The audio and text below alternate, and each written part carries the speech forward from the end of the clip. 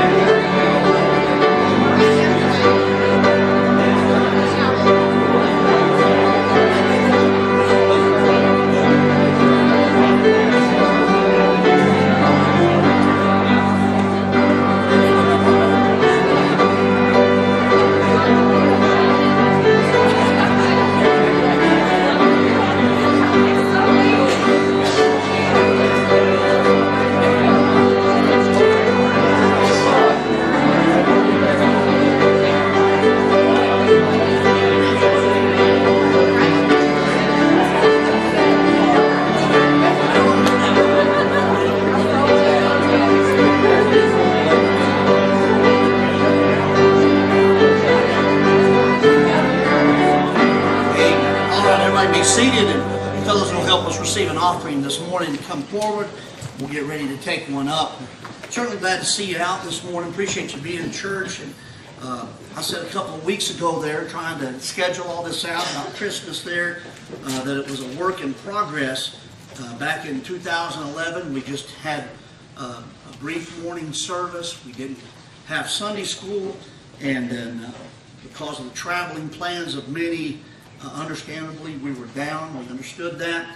Uh, the evening was quite a bit better. And uh, been conversing with some different folks there about your plans and things that uh, you can't get out of.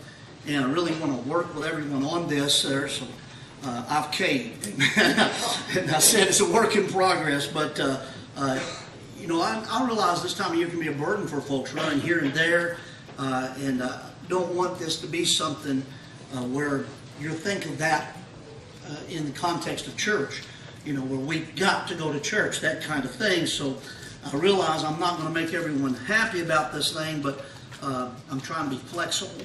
And uh, no doubt it is a special time of the year involving many blessings that God has uh, given to us.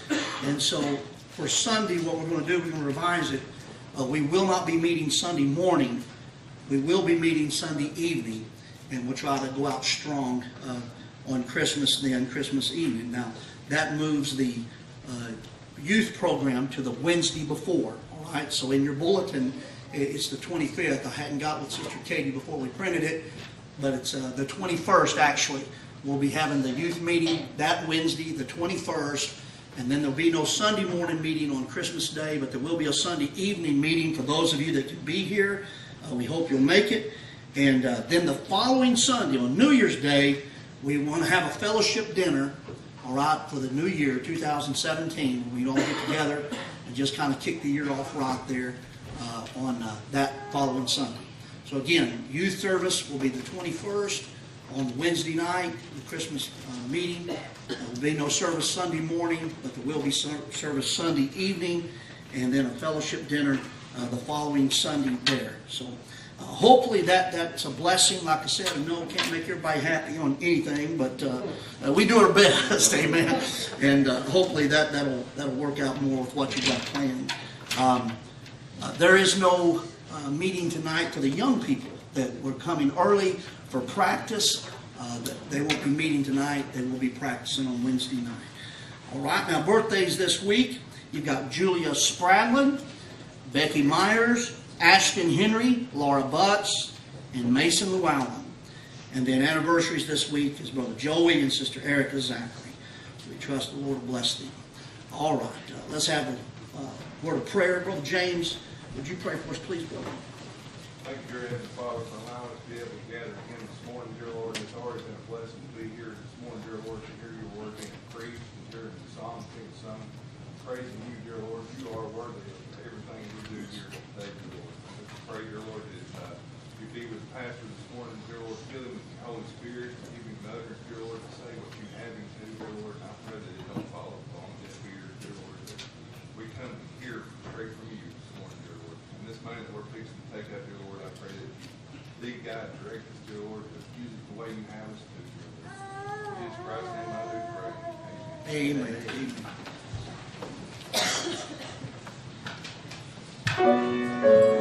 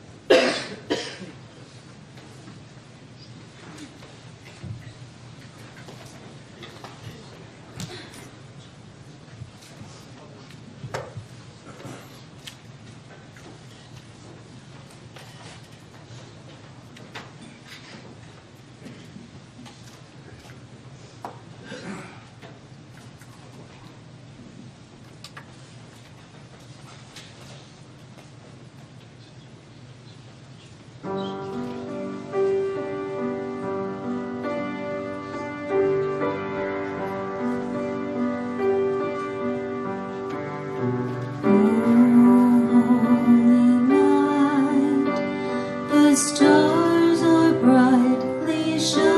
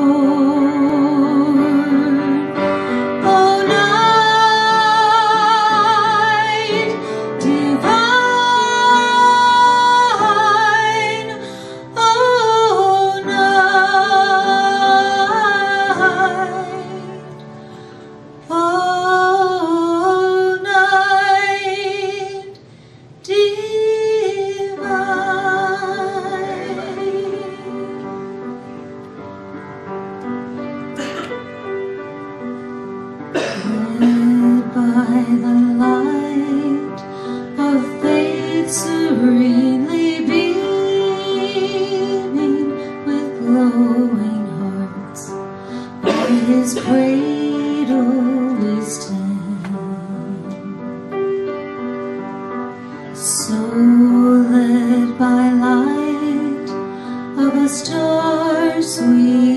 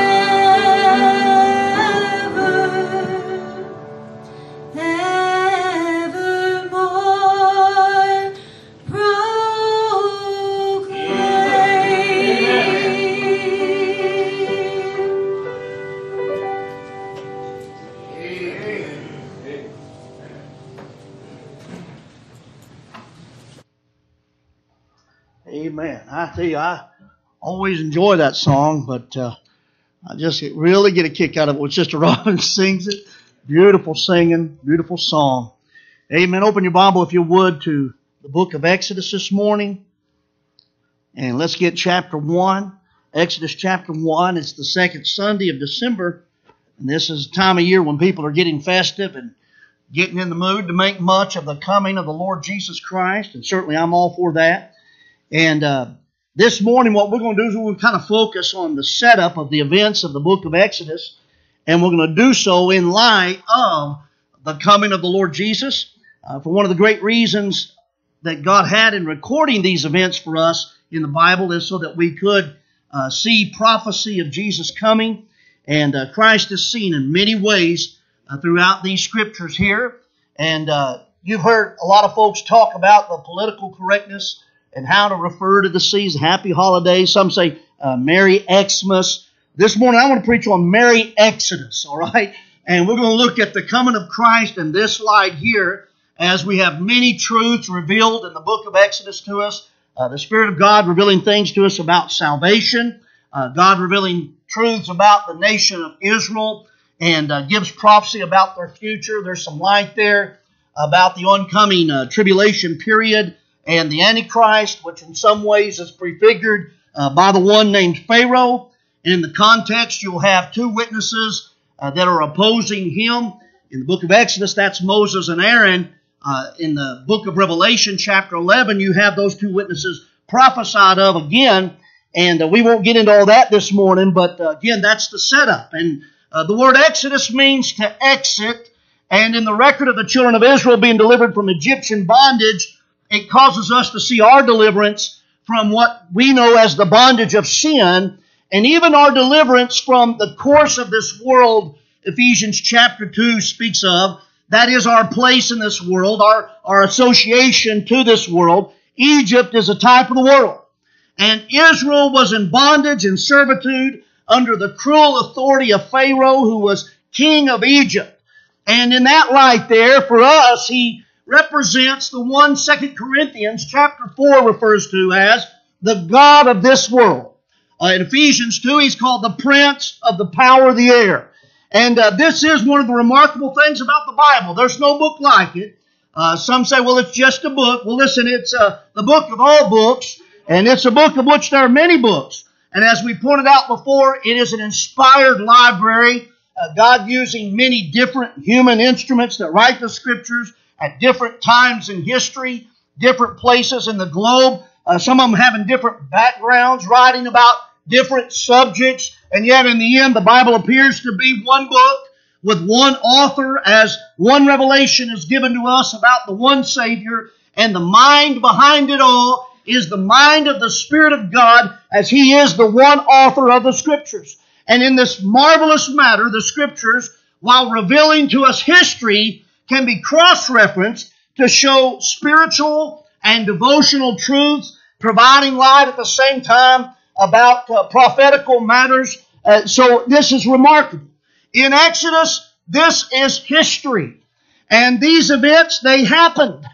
That in itself is amazing. Uh, it's the most amazing beginning of any nation in the history of all nations. Also, there's much devotional materials I mentioned, uh, giving us spiritual insight to our experience of God's grace and God's power in the new birth. And then there's prophetical material, and we'll eventually get to that. Maybe not this morning, but let me just go ahead and get started reading here in chapter 1, verse 5. Uh, the Bible says, And all the souls that came out of the loins of Jacob. Now make a mental note of that as he's setting us up here for something. All the souls that came out of the loins of Jacob were 70 souls, for Joseph was in Egypt already, and Joseph died, and all his brethren, and all that generation. And the children of Israel, remember Israel's the name of Jacob. It's already been referenced in verse 5.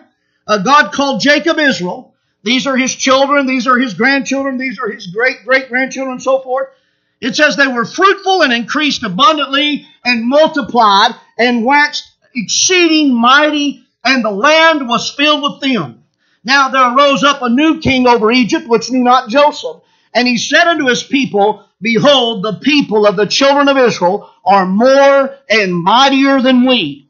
Come on, let us deal wisely with them, lest they multiply. And it come to pass that when there falleth out any war, they join also unto our enemies and fight against us, and so get them up out of the land.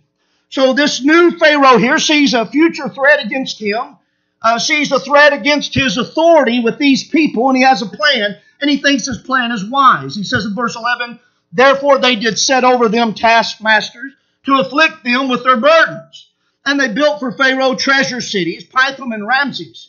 But the more they afflicted them, the more they multiplied and grew, and they were grieved because of the children of Israel. And let me just inject here that the greatest periods of our fruit bearing and our spiritual development and increase is going to be whenever we're being tried. Whenever we're going through those hardships there, you see that way up there on the mountaintop, there's not a lot of growth.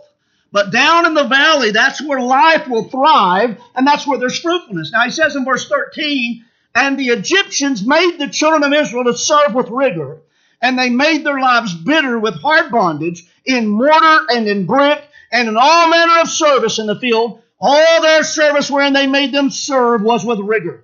And the king of Egypt spake to the Hebrew midwives, of which the name of one was Shiphrah, and the name of the other Puah. And he said, When you do the office of a midwife to the Hebrew women, and see them upon the stools, if it be a son, then ye shall kill him. But if it be a daughter, then she shall live. But the midwives feared God, and did not as the king of Egypt commanded them, but saved the men children alive.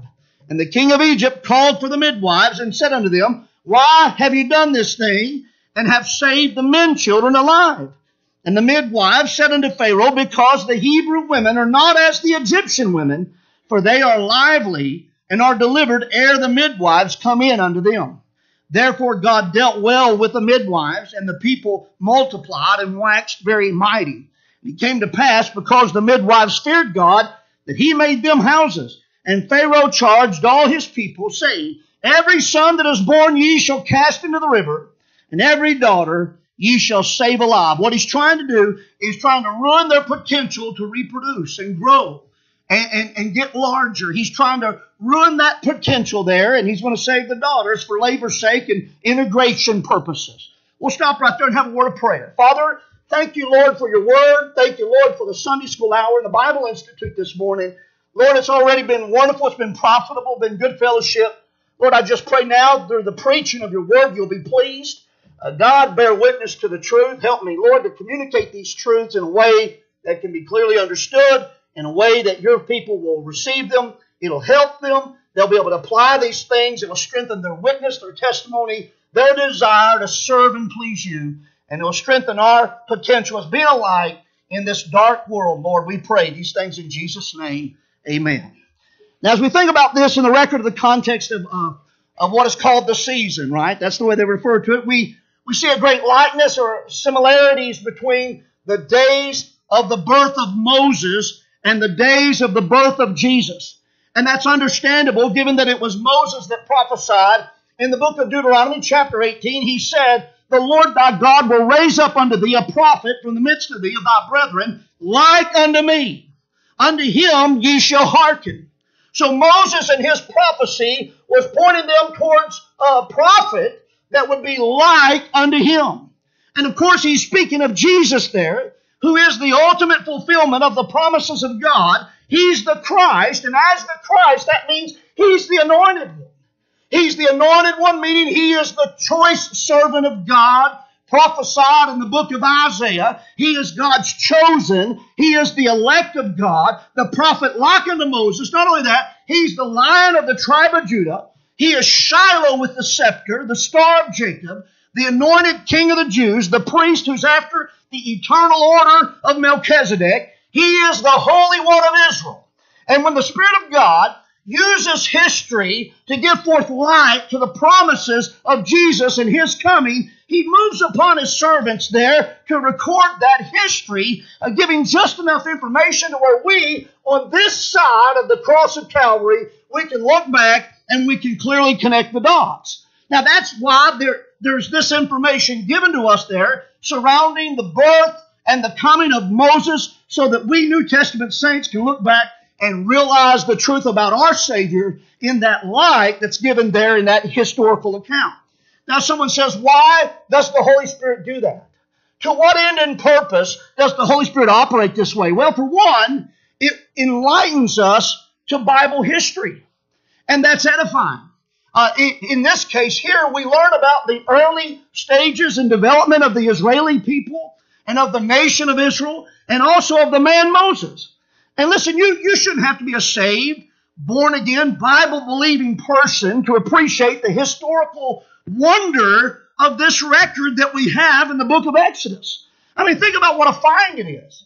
What a historical treasure it is there. There's information here about the man Moses. This is a historical character. This is somebody that's in uh, Jewish culture and in their history there. He's a revered man. And, and we should obviously be interested in what kind of man he was. And we're given that information uh, in the book of Exodus. We're also given information about the kingdom of Egypt, which, of course, at that time was a world power. And then there's information about the people of Israel there that would go on to inherit uh, the land of Palestine. That's all given in the book of Exodus. So there's going to be people that are going to spend millions upon millions of dollars uh, excavating and doing digs in the land of Egypt and all kinds of archaeological searches and Egyptian tombs they're going to be fooling around with. And they're going to do all that. They're not going to pay any attention to the information we're given right here in the book of Exodus. Now, this goes to show you there the pride of learning, the, the wisdom of man, you know, seeking out things, trying to study things there. And God gives us this record in the face of all that. Amen. Not against anything they find, anything they're digging up. It's just why ignore this history that's given to us in the book of Exodus there? Because it flies right in the face of the pride of man, right in the learning and the seeking of human knowledge. Now, another reason God does this is to increase our confidence in the promises of God.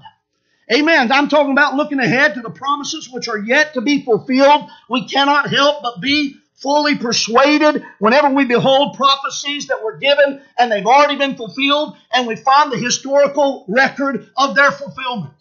That increases our confidence looking ahead at the things God said were yet to come to pass. In other words, by the time Exodus chapter 1 is written there, the events of Exodus chapter 1, uh, the Spirit of God has the reader of Scripture already anticipating the arrival of the one called the seed of the woman. He already has us on the edge of our seat about one that's called the Lord God of Shem. He's already told us uh, he's the seed of Abraham. We've already got a hint of him and that God himself was going to provide himself a lamb. And I mean the drum roll for the coming of Christ begins early. Man has no sooner fallen in the garden that God shows up on the scene and gives us the promised solution. And he's the blessing of Isaac. He's the star of Jacob. He, he's the promised Shiloh, the promised one of Judah, and for all the promises that are given to him about his coming. Again, from this side of Calvary in the empty tomb, looking back, we see he came. We realize the fulfillment of all that God promised, and he came. And he fulfilled the many things that were promised concerning the first coming, concerning the work of salvation, and, and he accomplished all that at the cross and what serves as a great encouragement to us all at this point is there still remains other promises that assure us He's coming again. And He hasn't come yet, amen. And people say, well, they've been saying that forever. Doesn't matter to a Bible believing Christian. Because so much that God has spoken has already been fulfilled and come to pass. And so those things that are yet to come to pass, we can wait with breathless expectancy. It shall come to pass. It shall be done as the Lord has spoken. We can believe all that, amen, because of what's already taken place. And then third, the Spirit of God records history and cross-references prophecy so that as we look at these scriptures and read these scriptures, what are we doing? We're considering Christ. Amen. We're beholding the man. We're beholding the Lamb of God. We're looking unto Jesus, the author and the finisher of our faith, just by what? just by reading and meditating on the scriptures. As Jesus said, search the scriptures. For in them you think you have eternal life, and these are they which testify of me. And so as we look at this, the way God has recorded history, and even though it deals with Israel and Egyptian bondage, and it deals with the coming of their deliverer Moses in history, we believers begin to see in that historical record prophecy about the coming of the Lord Jesus Christ. And we behold the man, we behold the Lamb of God we see our deliverer. We're looking unto Jesus again, the author and finisher of our faith. And it's interesting to look back from our perspective and read and study the events of the book of Exodus and begin to think about the very coming, the birth of the Lord Jesus into the world this time of year. By the book of Exodus. Amen. Glory to God for this written record. Amen. The Exodus is history, yes. But as has been pointed out long before me, Bible history is His story. It's His story, and of course, Exodus is very much included in that sentiment there. And here's the thing the deliverance of Israel from Egypt furnishes a remarkable, full, accurate typification of our redemption in Christ. What I'm saying is that as we study about how God delivered these people to form a nation called out by His name, that God uses this mighty event of delivering them out of this bondage and taking them through the Red Sea and on the other side destroying the threat against them. God uses that remarkable image to testify to those individuals that have simply believed on Jesus Christ and been redeemed. Now that's a remarkable thought. We learn about redemption and what we experienced, not only by the written record of the New Testament, but by the cross references of the historical record of what Israel as a nation experienced. I want you to turn to chapter 15 of Exodus. Get verse 13 when you get there. And just setting things up in Exodus, what God wants to do, first of all, by His Spirit, is show us the need for redemption. Redemption is the underlying theme of Exodus, and He wants us to see the need for redemption. We have to appreciate the need for their redemption, and that's pictured by the people that are enslaved. We see that in the first six chapters. And then next we're shown the might of the Redeemer. The might of the Redeemer. That's seen in chapter 7 through 11 by all the judgments of God seen in the plagues upon Egypt. God displays His might. God displays His power there. The might of the Redeemer is seen. And then third, we see the character of redemption as Freedom comes by blood and power. Blood and power there, the Passover lamb. That's seen through chapter 12 through chapter 18. And then fourth, we're taught the duty of the redeemed in the book of Exodus as the law is being emphasized there. But what's, what's really the subject is the thought of obeying God and following God, being loyal and allegiant to God. That's seen in chapters 19 through chapter 24. And then fifth, we have the provisions made for the failures of the redeemed. and I thank God for that, amen. I mean, at the same time, God gave the law. He gave a blueprint of the tabernacle. You know what he says in the New Testament? He said, I've said these things to you that you sin not. And if any man sin, we have an advocate with the Father, Jesus Christ the righteous. And here God gives him the law, and then he says, Here, you're going to need this blueprint for the tabernacle and the offerings and the atonement because you can't keep it. And God provided for our weaknesses and our failures. And that's seen in chapters 25 through chapter uh, 50, or chapter 40 rather. And so here I've got you in chapter 15, verse 13. And the things that I just mentioned, those five things about the book of Exodus, are all seemingly found in this one verse. Verse 13, he says, Thou in thy mercy hast led forth the people which thou hast redeemed. Thou hast guided them in thy strength unto thy holy habitation. See, he mentions there those words, thy mercy. Showing what? Showing the need of our redemption. It was necessary, it's a necessary ingredient that God be merciful to us sinners. Amen. God didn't get a deal when He saved you and me. Amen. He didn't save you because He needed you. He didn't need you and me. We needed Him, and God took pity on us, and God had mercy on us, and that shows us the need for redemption. And then He shows the power, the might of the Redeemer with the words, Thy strength. Friend, it wasn't just signing your name up to a book. Amen. That's the, that's the result. We're in the book of life. I don't mean to disparage that idea, but I'm saying this that our birth in Christ, the new birth, was a miracle of grace. And if any man be in Christ, he's a new creature. All things are passed away. Behold, all things are become new. And then uh, he shows us there the character of redemption. The character of redemption when he mentions the words, led forth the people which thou hast redeemed. The character of redemption. God saved us for a purpose. and He's leading us forth. The responsibilities of the redeemed, along with our privileges, are seen there in the words, Thy holy habitation. That is the privilege of having God with us.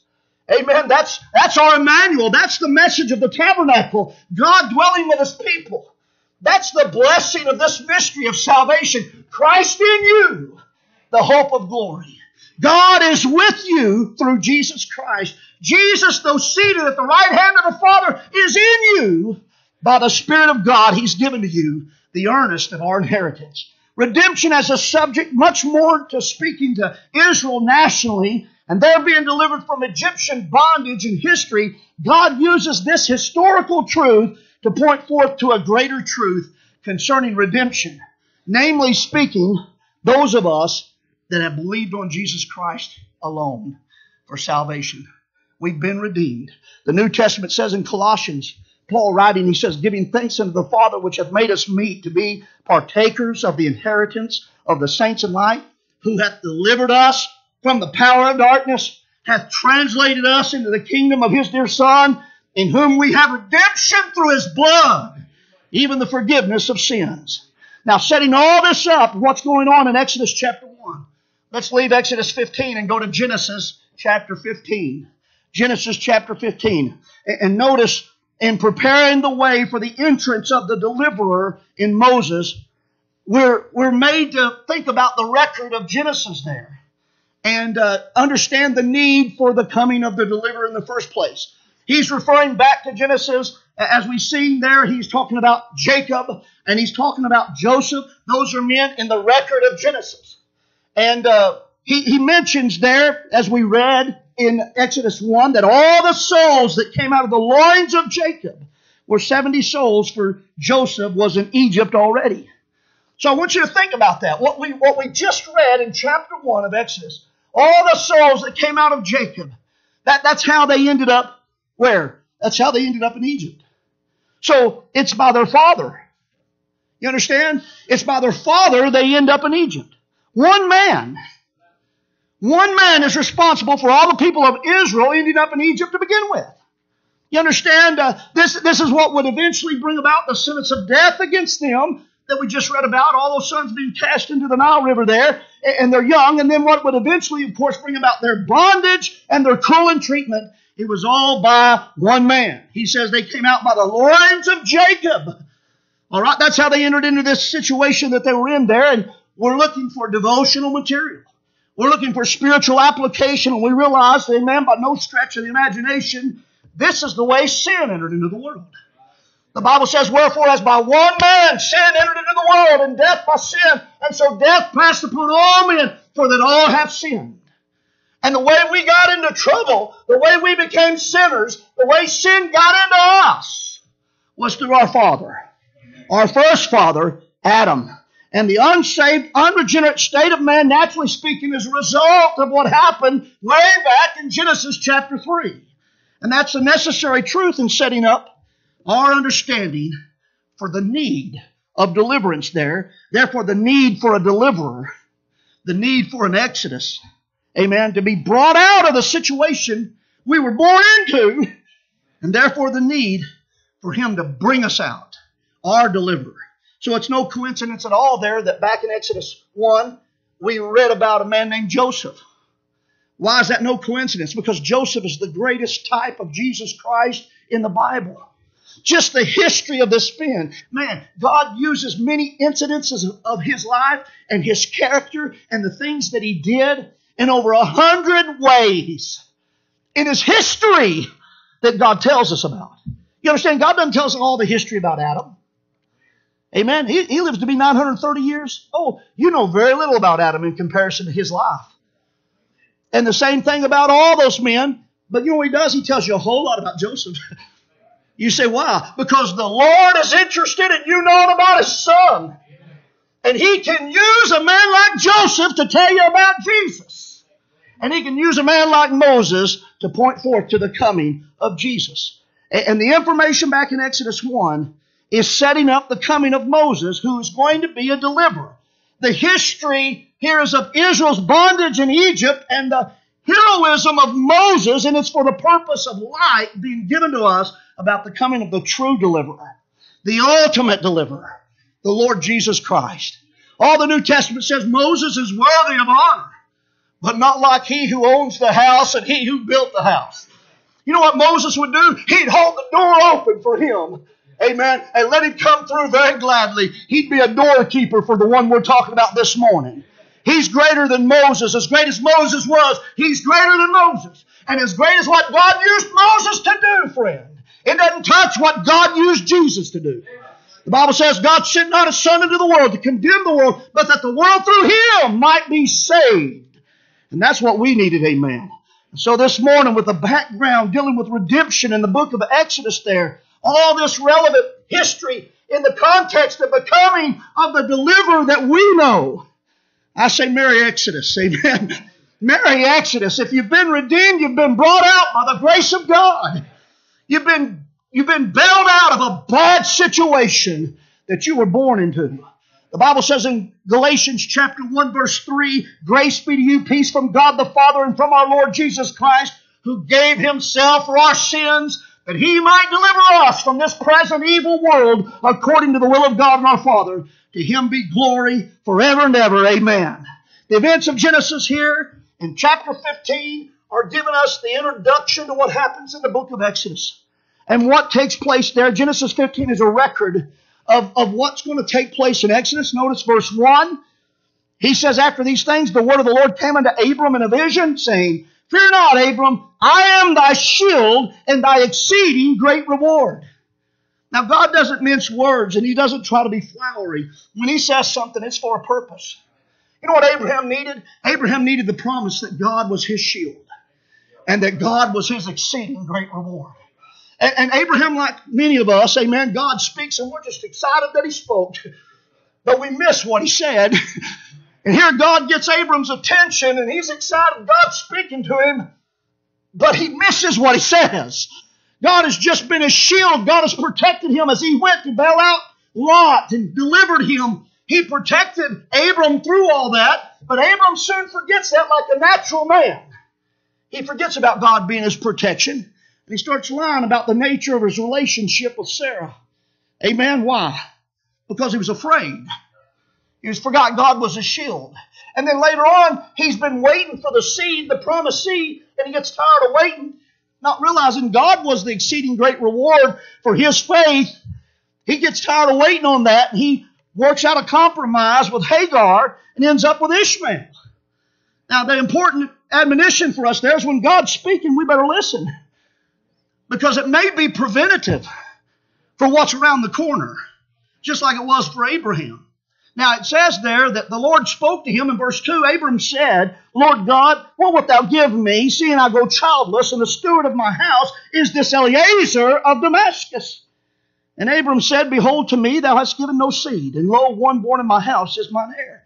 Remember, the nature of faith is that God's a rewarder of them that diligently seek him. So this is not out of character. This is not uh, Abram showing lack of faith. Uh, he wants to know about the reward there what wilt thou give me? And he's wondering, is, is he referring to Eliezer? And, and it says in verse 4, Behold, the word of the Lord came unto him, saying, This shall not be thine heir, not Eliezer, but he that shall come forth out of thine own bowels shall be thine heir. And that's the Lord assuring him about seed. And he says in verse 5, And he brought him forth abroad and said, Look now toward heaven and tell the stars if thou be able to number them. And he said unto him, So shall thy seed be. You know what God's doing? God's prompting his faith. God's about to give him a great big promise. And before Abraham has a chance to believe what God is saying, God's saying, Look up there. And he's made to have his attention on what God's already done. He made the stars also. And he said, I'm going to give you that many children. And Abram looks up there and sees those stars and says, God, you make those stars, you can give me that many children. And the Bible says there in verse 6, he believed in the Lord and he counted it to him for righteousness. Verse 7 And he said unto him, I am the Lord that brought thee out of Ur of the Chaldees to give thee this land to inherit it. And he said, Lord God, whereby shall I know that I shall inherit it? Now, this is the important reason. This is why we're here. Whereby shall I know that I shall inherit it? This is a covenant here. First of all, in the first part of the passage, we saw his faulty assumptions. Abraham about Eliezer, but then we read about God's faithful assurance, and God gives revelation uh, towards the response of Abram there, and that he believed the Lord, and he's asked, Whereby shall I know that I shall inherit it? And he begins to show him the, the, the, the qualifier of the promise that he's given. And it deals with what's going to take place later. And he begins to, what we know as history in the Exodus record from Genesis 15 is prophecy. And he tells him about what lies ahead. And he begins to point forth again, friends, to a type of Christ. Many pictures of Christ are seen here in verse 9. He said unto him, Take me an heifer of three years old. A heifer's a female cow. Let me just say this. I don't have time to get in all this this morning. But God uses, He'll use a male to establish the doctrinal truth. He'll use a female to establish the experience of that doctrinal truth. In other words, He wants to establish the doctrine of faith. He uses Abraham. He wants to show you the experience of the doctrine of faith. He uses Sarah. All right, just like you have the the different offerings there, the male of the herd. Uh, he also talks about a red heifer, which deals with just the practical experience of being a believer and needing that water of cleansing every now and then, even after your sins are taken care of. That's good information, amen. even after your sins are taken care of, what do you do if you come across something and you feel defiled? There's already a provision made. And that's that red heifer offering in the Old Testament. It's pointing forth to you and I confessing our sins as believers now and followers of Jesus Christ, God anticipating our weaknesses and our failures, going to Him and confessing our sins and receiving forgiveness by faith, just acknowledging God is just. Amen. He is just. He can cleanse me by the blood of Jesus Christ, and He can restore our fellowship. Well, this is a heifer of three years old, and it reflects the experience of Christ in humility. He humbled Himself. And it says a she goat of three years old, showing the vicarious sufferings of Christ in the sinner's stead. He felt what he did for us. Amen. He felt what he did for me in my stead. He suffered. He knew pain. He knew torture. He suffered in my stead.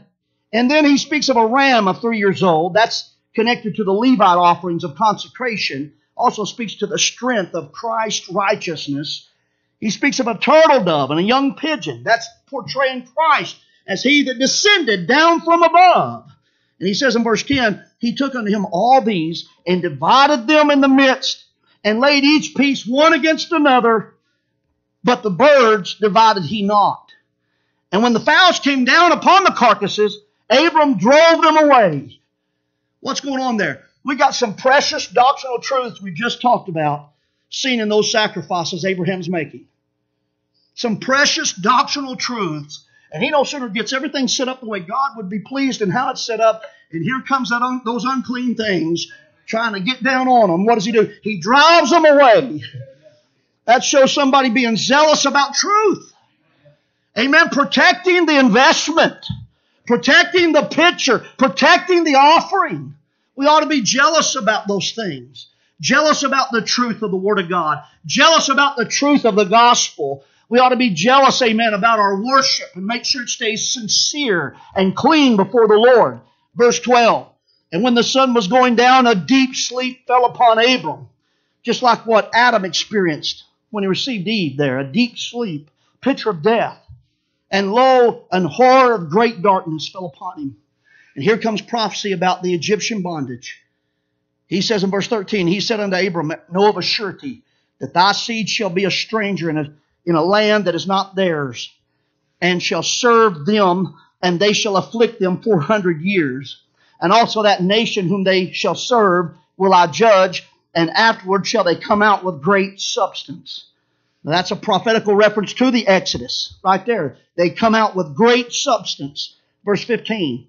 And thou shalt go to thy fathers in peace, thou shalt be buried in a good old age, but in the fourth generation they shall come hither again, for the iniquity of the Amorites is not yet full.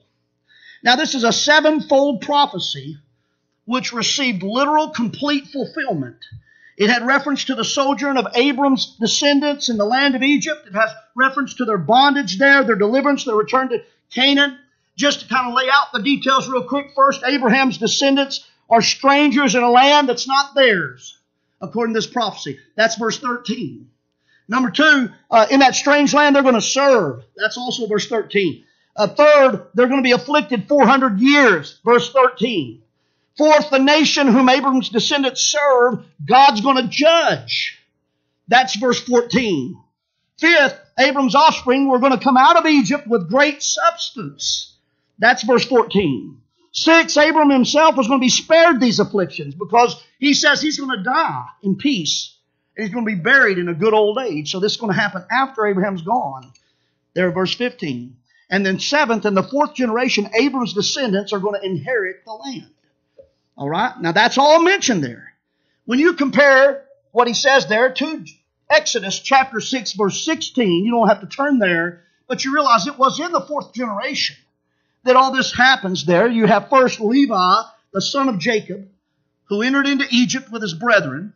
Next, there's Kohath, Exodus chapter 6, verse 18. And then there's Amram, who is Moses' father, and, and, and Aaron's father there. So you've got, you've got Levi, you've got Kohath, you've got Amram, and then fourth, you've got Moses and Aaron. Right there in that fourth generation, just like God said. Now, there's a reason that time has to elapse before all this begins to come to fruition in regards to that sevenfold prophecy God gave him in Genesis chapter 15. And for one, he speaks about the Amorites. And he says there, the iniquity of the Amorites is not yet full. Meaning that uh, God sending Israel in to possess the land was not only the Lord being gracious to the people of Abraham, Isaac, and Jacob, but it was also the Lord sending in judgment against the people of that land. Israel, under Joshua, are an instrument of God's judgment against the people of that land. And so you realize why they get in trouble there whenever they would spare them. Because they would provide mercy, and it wasn't their mercy to provide. It was God's mercy. And God, at different times, He may send in a flood in the way of judgment. He may send in fire in the way of judgment. In the book of Joshua, He sent in an army. And they were responsible for conquering that land and possessing that land there. And God's mercy in this situation for the Amorite was a timetable. They just had so long. It wasn't time for the people of Abraham to go into that land because the iniquity of the Amorites, he said, was not yet full. Meaning what? The situation didn't call for it yet. Wasn't time yet. You ever had God promise you something and you're waiting? And you're wondering where the answer is? Well, the situation for Abraham wasn't developed yet. All that God promised, it wasn't set up yet. In Deuteronomy chapter 9, God reminds Israel, saying, Speak not thou in thine heart after the Lord thy God hath cast them out from before thee, saying, For my righteousness the Lord hath brought me in to possess this land, but for the wickedness of these nations the Lord doth drive them out from before thee.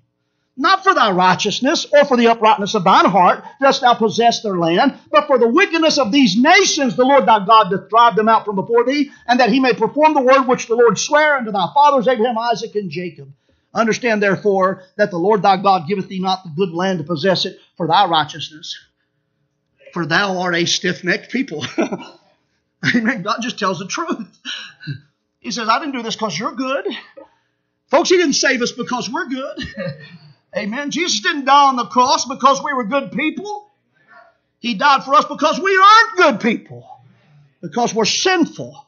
And the people of Israel going in to possess that land there, they had to wait because the iniquity of the Amorites was not yet full. And also, also Abraham and his descendants, they just weren't up to the task of possessing that land. Not only was the situation not ready for them, Abraham and his family and his descendants, they weren't ready for the promise. So God had to take time to develop the situation, and in so doing, He had to develop the situation that they could inherit those promises. The situation had to be ready. It's not a problem with the Lord while we wait. It just might be we're not ready. might be we're, we're not mature enough yet, or we haven't grown to a point where we can receive the fulfillment of His promise. You know, I mean, consider it, folks. Probably not something wrong on God's end. it's probably us, amen. It's probably the holdup is with us. And Abram heard the promise that would pass down to Isaac and then to Jacob, and then on to Jacob's family. It would eventually grow and multiply into a people that would possess the land, big enough to possess the land. The only thing is that would take their time in Egypt while he was preparing them. And while they were in Egypt, a new king arose. Amen. And they had entered into Egypt by their father, and they were in bondage. And you know what they needed? They needed a deliverer. They needed redemption, and God sent one in, in Moses. And as great as he was, he was only a forerunner. He's only a type of the one who's really choice to God, the anointed one who was yet to come. And we look back, amen, and we say he came. Amen. What was prophecy to them is history to us. The death, burial, and resurrection of Jesus Christ, his death was according to the scriptures. His burial and his bodily resurrection the third day was according to the scriptures. How can we believe the promises that are yet to be fulfilled? Because everything that's recorded in there was exactly spoken beforehand and it came to pass. And it gives us a sample to encourage our faith. So I ask you this morning there, have you been redeemed? Have you been saved? If so, forget about this Xmas stuff. Amen. Think about Exodus. Amen. Think about your Exodus. The deliverer was sent into the world by the Father. He was the Redeemer to set you free from sinful bondage and from being associated to this world. He freed you from the course of this world. In closing, one man said this. He said, If our greatest need had been information, God would have sent us an educator. And if our greatest need had been technology, He would have sent us a scientist. If our greatest need had been money, He would have sent an economist. If our greatest need had been pleasure, He would have sent us an entertainer. But our greatest need was salvation and forgiveness. And God sent us a Savior. The Bible says God sent not a Son into the world to condemn the world, but that the world through Him might be saved. I want to ask you to stand. Let's go to the Lord in prayer this morning. And I won't go into everything I had to say this morning. We'll pick up as the Lord will give us liberty to do that uh, next Sunday morning here. But think about it, friend. We rejoice in the liberty we have in Christ. No fear of the penalty of sin against sin. No fear of condemnation, and that we're washed in the blood and Christ has paid for our sins. And we're glad we're not going to hell. Amen. Thank God we're not going to hell. But the Bible says He gave Himself for our sins that He might deliver us from this present evil world. Ephesians 2 talks about how we were dead in trespasses and sins, and we were walking according to the course of this world, according to the prince of the power of the air, the spirit that now worketh in the children of disobedience, among whom we all had our conversation in times past. You know what he describes? A change happened. Redemption took place. Freedom has taken place. Before the Exodus, the event of the Exodus, their crossing of the Red Sea, the children of Israel were a part of Egypt. They did not have a land of their own. They came in there by their father Jacob. They multiplied and they increased. And they began to suffer cruel bondage and served with rigor. And they were just part of Egypt, part of the landscape of Egypt, until God moved, until a deliverer came that God sent in. And that's what happened with us. We were just part of this world, headed for judgment, headed for fire, headed for destruction. That was our path in life. And after this life was over, we would have stood condemned before God to suffer eternal condemnation and damnation. But God intervened. He sent a deliverer. Even before we were born, God took care of our debt of sin in the body of His Son, Jesus Christ. Jesus, His Son, came in the likeness of sinful flesh to condemn sin in the flesh. And He bore our sins in His body, and He died hanging by His hands and His feet, and He bled out so that we might be redeemed, delivered from this present evil world. As part of the redeemed friends, we have an obligation. We have responsibility. Don't walk as one with this world. The world is not your home. You've made an exit. You were delivered, translated from the power of darkness into the kingdom of God's dear Son. You're a child of light. Celebrate your exodus. Live your exodus. Rejoice in your exodus. By the blood and the Spirit of God, you've crossed over. Father, I thank you, Lord, for the blessings of this new life we've received through faith in your Son, Jesus Christ. Thank you for the Spirit of God that has sealed us unto the day of redemption. For when we get home and all this is made right in your sight, all the weaknesses of the flesh is done away with, and this vile body is fashioned like unto his glorious body. Lord, we're looking forward to that. Until then, Lord, another day we pray that you'll change us. Another day we pray that you'll change us from glory to glory. Help us to get closer. Help us to know more. Help us to apply truth. Help us to draw nigh. God, I pray you strengthen us in our testimony and our resolve to be different because of what you've done. We pray if there's somebody here that does not know Jesus Christ as their Savior today, Lord God, deal with their heart, show them the great need they have that only, only Christ can solve. We pray for them today in Jesus' name. With your heads bowed, everyone praying. Sister Robin begins to play today. We'll have a time of invitation. This is just a time here of prayer. You're saved, you understand. This between you and the Lord, it's nobody's business unless the Lord moves on you to make it public. We'll certainly let you do that. Many times, though, folks just come and pray. Just renew some commitments and get some things shored up in their walk of faith. Get their feet of faith back under them, so to speak. Get their head turned around right. Get their heart in the game.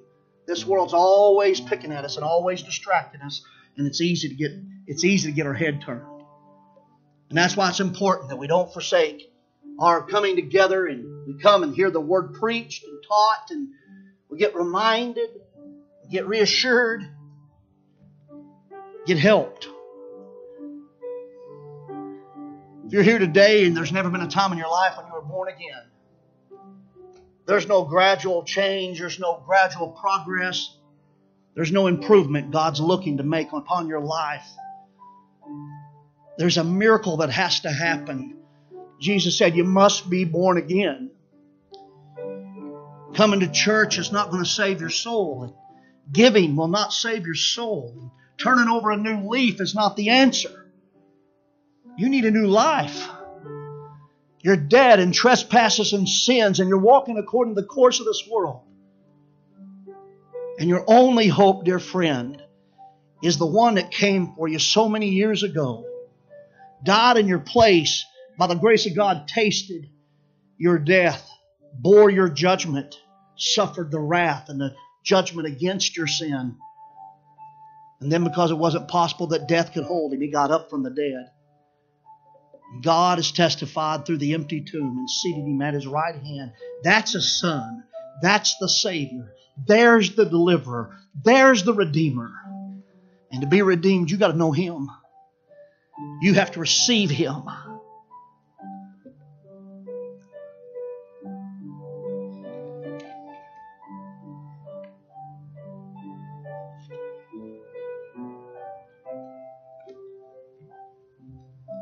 Bible says, Whosoever shall call upon the name of the Lord shall be saved. Call upon him. Call upon his name. You come forward. If you have any questions, we'll meet you right down here with a Bible. We'll show you in black and white, book, chapter, and verse, the truth of the gospel, the way of salvation. You can leave knowing you're saved.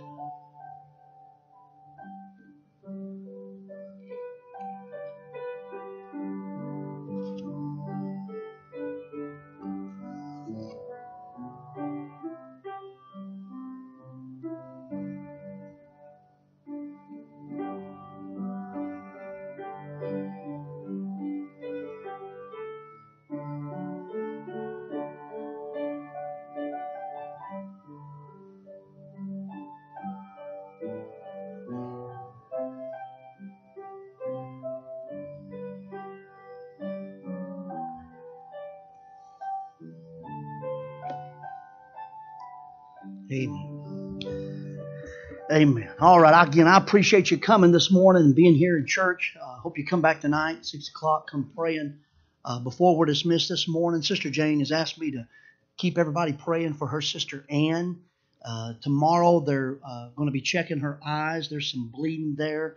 and uh, they're afraid she's going to lose her eyesight, along with everything else she's suffering. Uh, just hold her up in prayer. God will have mercy on her and uh, upon her family as well.